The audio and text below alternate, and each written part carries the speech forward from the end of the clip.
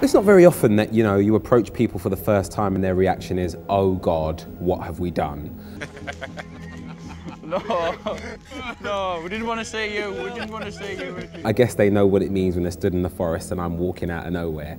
Um, yeah, it's cool that they know what Release the Hounds in. It's even cooler that they know to be scared. I'm the most flighty person in history.